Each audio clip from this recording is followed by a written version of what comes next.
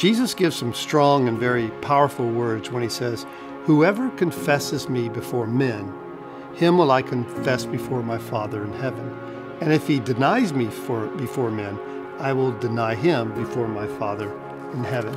And he also goes on to say, Whosoever is ashamed of me and my words in this adulterous and sinful generation, I will be ashamed of him.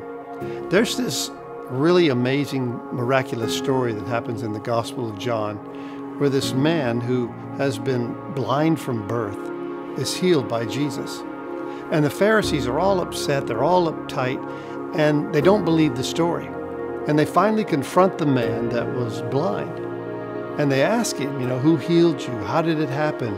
They even go to his parents and say, Tell us what happened to your son.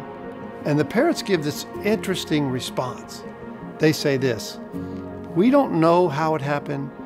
We don't know who the man is that healed him, but our son, he is of age.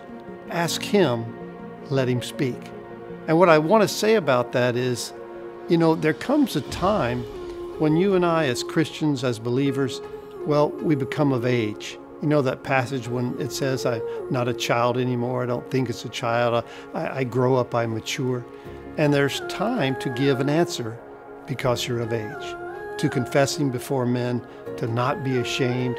They, they finally come to the, to the guy that got healed and they start questioning him. And he says, You know, all I know is once I was blind and now I see. So let me just finish by saying this.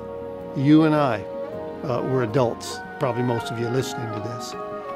You're of age, and it's time to speak up, to show up, to stand up, and to live up to what God has done in your life.